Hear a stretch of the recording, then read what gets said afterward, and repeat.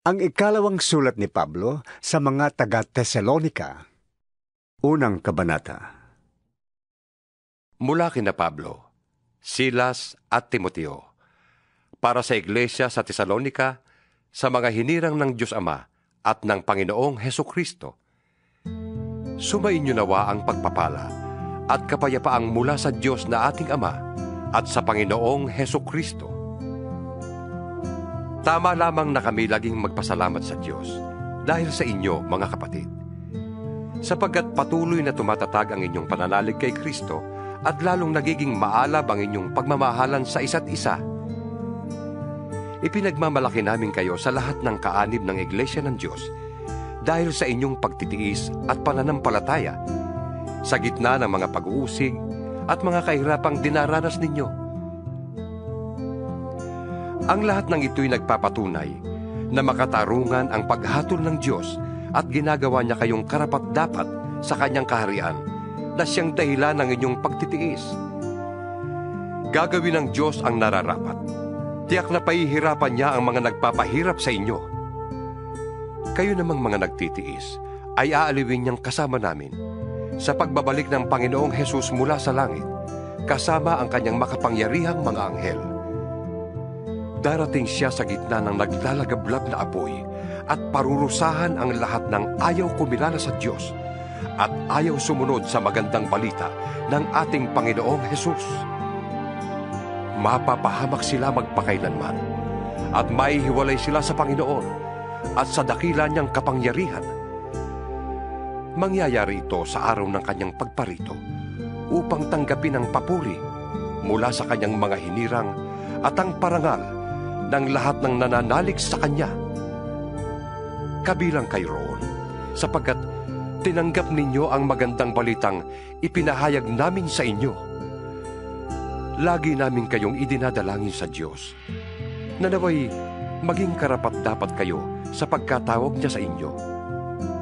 At sa pamamagitan ng kanyang kapangyarihan, naway ipagkaloob niya sa inyo ang lahat ng mabuti ninyong hinahangad at maging ganap ang inyong mga gawang bunga ng pananampalataya. Sa gayon, mapaparangalan ninyo ang ating Panginoong Hesus at kayo naman ay pararangalan din niya ayon sa kagandahang loob ng Diyos at ng ating Panginoong Heso Kristo. Ikalawang kabanata. Tungkol naman sa pagbabalik ng ating Panginoong Heso Kristo, at sa pagtitipon sa atin upang makapiling niya. Nakikiusap kami sa inyo, mga kapatid, na huwag agad magugulo ang inyong isip o mababahala kung mabalitaan ninyong dumating na ang araw ng Panginoon. Huwag kayong maniniwala kahit sabihin pa nilang iyon ay propesiya o pahayag o isinulat namin. Huwag kayong magpapadaya kanino man sa anumang paraan hindi darating ang araw ng Panginoon hanggat di pa nagaganap ang huling paghihimagsik laban sa Diyos at ang paglitaw ng suwail na tiyak na mapapahamak. Itataas niya ang kanyang sarili at kakalabanin ang lahat ng kinikilalang Diyos at sinasamba ng mga tao. Uupo siya sa templo ng Diyos at magpapakilalang siya ang Diyos. Hindi ba ninyo natatandaan Sinabi ko na ito sa inyo nang ako'y kasama pa ninyo.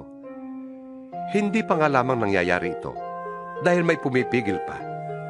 At alam ninyo kung ano yun.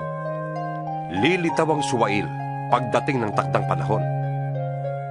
Ngayon pa man ay palihim na siyang gumagawa ng kasamaan at mananatiling ganyan hanggat di naaalis ang humahadlang sa kanya.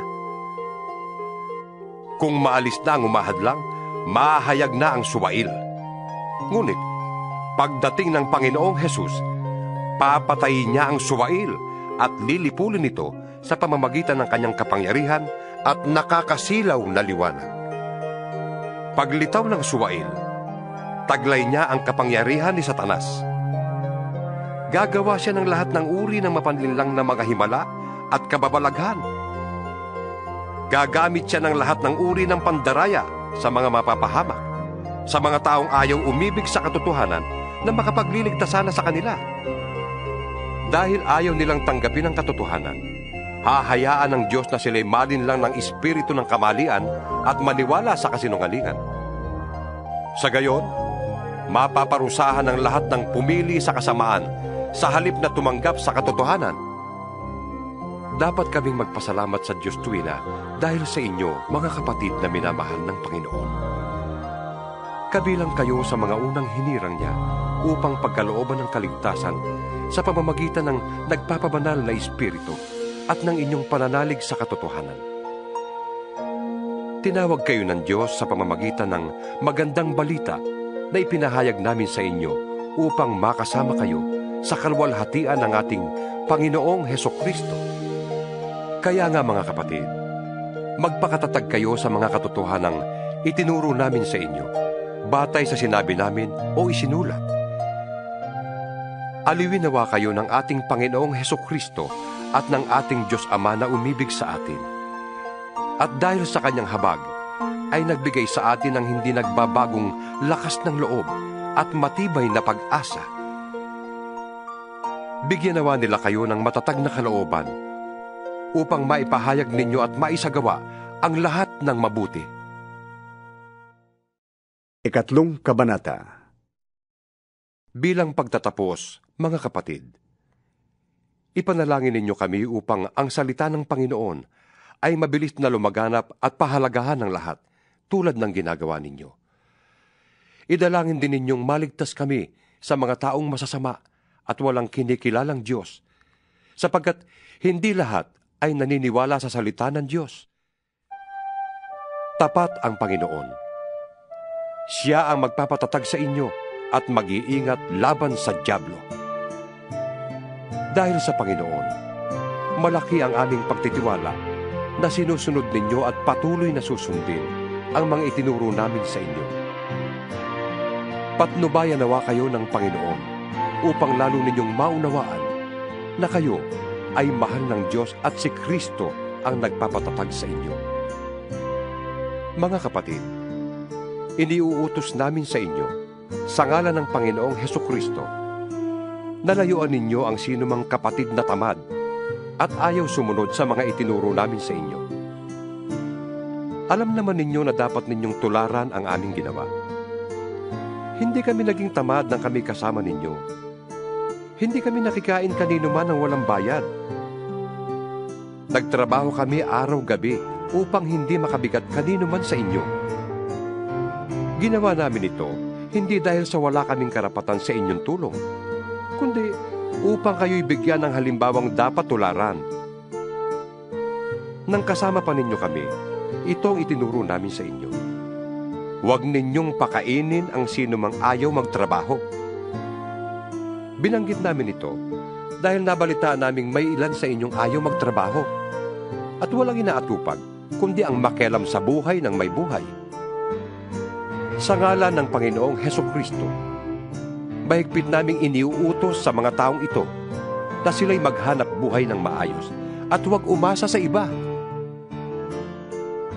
Mga kapatid, huwag kayong magsasawa sa paggawa ng mabuti. Maaaring meron sa inyo dyan na hindi susunod sa sinasabi namin sa sulat na ito. Kung magkagayon, tandaan ninyo siya at huwag kayong makisama sa kanya upang siya mapahiya. Ngunit, huwag naman niyo siyang ituturing na kaaway. Sa halip, pangaralan ninyo siya bilang kapatid. Ang Panginoon na pinagmumula ng kapayapaan, ang sinawang magkaloob sa inyo ng kapayapaan sa lahat ng paraan at pagkakataon. Naway sumainyong lahat ang Panginoon. Akong si Pablo ang sumulat ng pagbating ito. Ito ang aking lagda sa lahat ng sulat ko. Ganito ako sumulat. Naway pagpalain kayong lahat ng ating Panginoong Heso Kristo